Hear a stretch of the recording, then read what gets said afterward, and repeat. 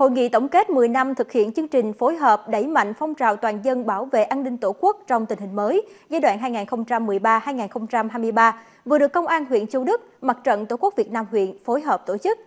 Theo đánh giá tại hội nghị, qua 10 năm thực hiện chương trình phối hợp, Ủy ban Mặt trận Tổ quốc, Công an huyện và các tổ chức thành viên đã đẩy mạnh công tác thông tin, tuyên truyền, vận động, giáo dục nâng cao nhận thức cho cán bộ, chiến sĩ, đoàn viên, hội viên và các tầng lớp nhân dân về phòng chống tội phạm, ma túy, đảm bảo trật tự an toàn giao thông. Đẩy mạnh phong trào toàn dân bảo vệ an ninh Tổ quốc trong tình hình mới, 10 năm qua, toàn quyền Châu Đức lắp đặt 159 mắt camera an ninh tại 64 điểm. Huyện đã xây dựng 16 mô hình quản lý giáo dục trẻ em và người chưa thành niên làm trái pháp luật tại cộng đồng, 113 câu lạc bộ phòng chống tội phạm, 16 tiếng cảng an ninh tại khu dân cư với hơn 2.400 thành viên tham gia.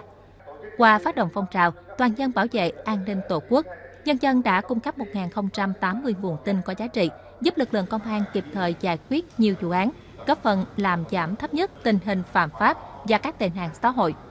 Tổng kết 10 năm chương trình phối hợp giữa Công an quyện và Mặt trận Tổ quốc Việt Nam quyện, Ủy ban nhân dân quyện Châu Đức tặng giấy khen cho 8 tập thể, 4 cá nhân đạt thành tích trong phong trào toàn dân bảo vệ an ninh Tổ quốc.